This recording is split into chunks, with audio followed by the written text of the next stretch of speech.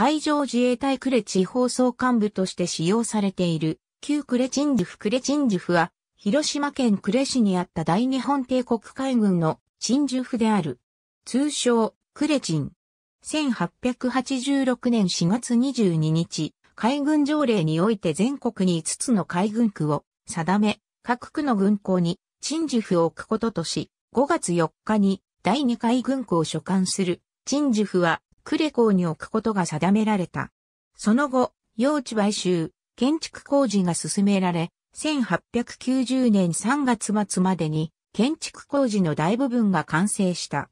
クレチンジュフの会長は1889年7月1日付で告示がなされ、会長式は1890年4月21日、明治天皇臨席のもとに挙行された。また、鎮守府管制により、鎮守府の組織として参謀部、軍医部、主計部、造船部、兵器部、建築部、軍法会議、監獄所などを置いた。1945年の終戦時に廃止され、1946年から1955年までは、司令長官官舎などがイギリス連邦占領軍の総司令部として使用された。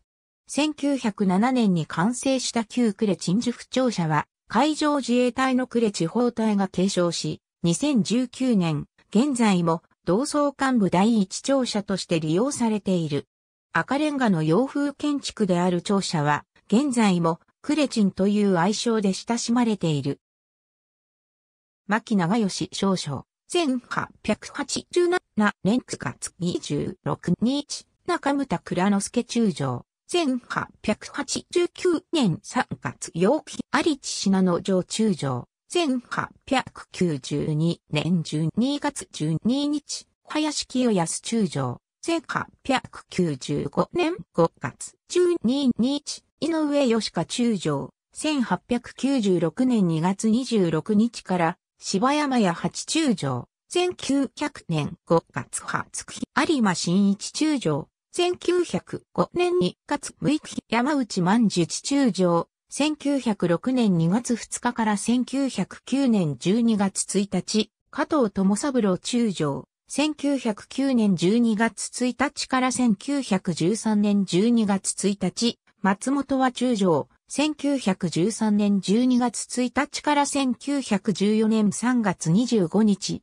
吉松重太郎中将、1914年3月25日から1915年9月23日、伊地知末吉中将、1915年9月23日から1916年12月1日、加藤貞吉中将、1916年12月1日、村上閣一大将、1919年12月1日、鈴木貫太郎中将、1922年7月27日、竹下勇大将、1924年1月27日、阿保清和中将、1925年4月15日、谷口昇進中将、1926年12月10日、大谷幸四郎中将、1928年12月10日、谷口昇進大将、1929年11月11日、野村義三郎中将、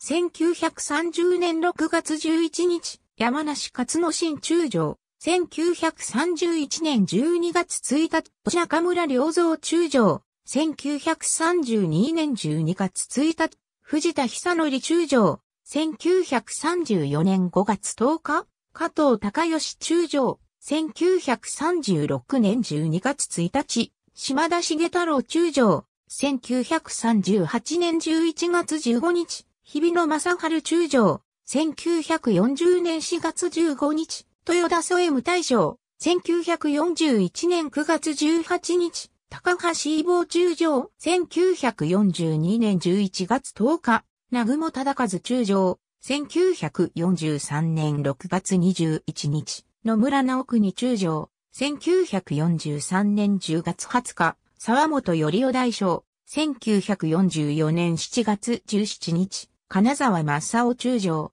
1945年5月1日、岡田為治少将、1945年11月15日から11月30日。ありがとうございます。